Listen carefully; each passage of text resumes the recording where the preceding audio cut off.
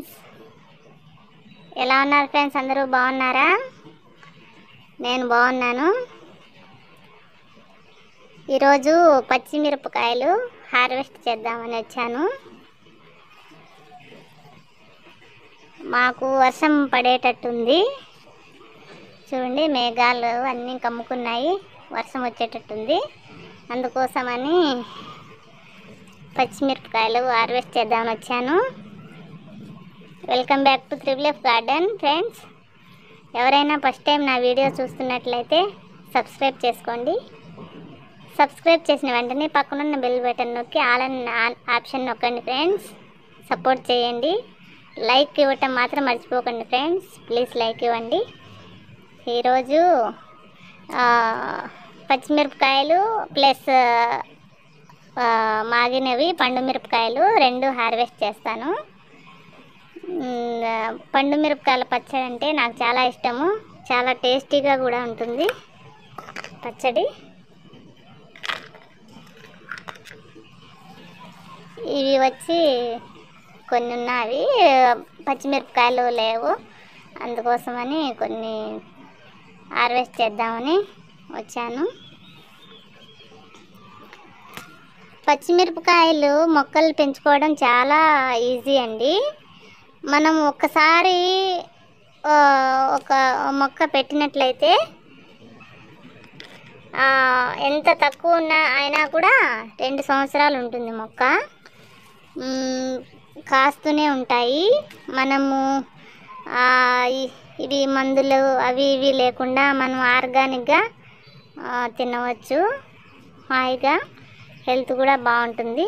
ఇవి కొన్ని పిందులు ఉన్నాయి వదిలేస్తున్నాను. కొంచెం పూత కూడా ఉంది చూడండి. అందుకోసం వదిలేస్తున్నాను. ఇక పండు మిరపకాయలు హార్వెస్ట్ చేద్దాము. వర్షం వచ్చేటట్టుంది మాకు రోజు వర్షం పడుతుంది. ఇక ఇవి విడిపోతున్నాయి అంటాం కదా. అలాగా విడిపోతుంది ఇప్పుడు ఈ మొక్క. వెంటనే మళ్ళీ నేను ఇవన్నీ కట్ చేసి కొమ్మలు మళ్ళీ రెడీ చేస్తే ఫ్రెష్గా ఇగుళ్ళు వస్తాయి. అసలు పని కూడా ఎక్కువ లేదండి వీటికి. తొందరగా గ్రోత్ అయిపోతాయి. మొక్క గ్రోత్ తొందరగా అవుతుంది. చాలా సంవత్సరాలు ఉంటుంది మొక్క. ఇప్పుడు విడిపోతే ఎక్కువ సార్లు పూత వచ్చి కాపు అయిపోతుంది కదా. అప్పుడు ఇలా అయిపోతుంది మొక్క అంతా చూడండి మాగినలాగా ఆకులన్నీ ఇలా అయిపోతాయి. అప్పుడు మళ్ళీ మనము ప్రూనింగ్ చేసుకొని అన్నీ కట్ చేసేసి మొక్కలు కొమ్మలన్నీ కట్ చేసేస్తే మళ్ళీ ఫ్రెష్గా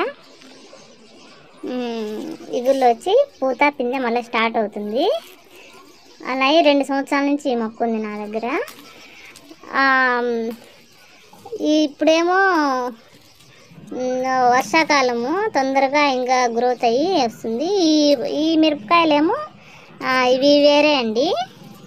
ఇవి పొట్టిగా ఉంటాయి కాయలు. ఇవి అంతే ఇంకా. ఈ సైజు పెరగవు. ఇంతే ఉంటాయి ఇవి. ఇవి వేరే ఇవి వేరే. చూడండి దీనికి ఈ కాయలకు ఈ కాయలకు డిఫరెంట్ ఉంది కదా. ఈ కాయ ఇవి చిన్నవి పండు మిరపకాయలు. ఈ మొక్క వేరే ఇది. కారం చాలా కారం ఉంటుంది. రెండు కాయలు వేసినా కూడా కారం ఎక్కువ ఉంటాయి ఈ కాయలు.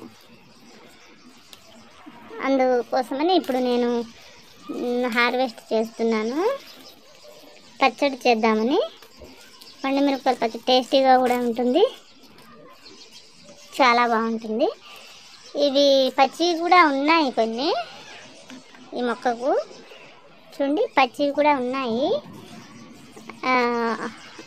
అయిపోవచ్చినాయి. కాపు అయిపోవచ్చినాయి కాయలు.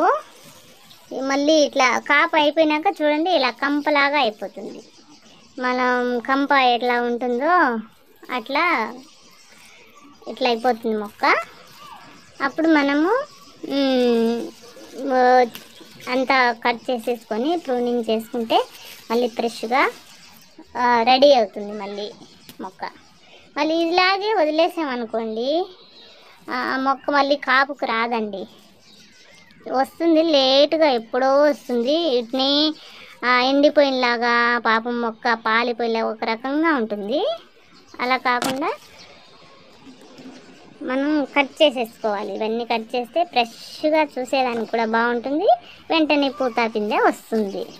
మనం ఇలా చేసి ఇంట్లో పండించుకొని తింటే ఆరోగ్యానికి ఆరోగ్యం ఉంటుంది మనకు ఒక తృప్తి సంతోషం ఉంటుంది. మనం పండించి తింటున్నాము అనే ఒక తృప్తి ఉంటుంది.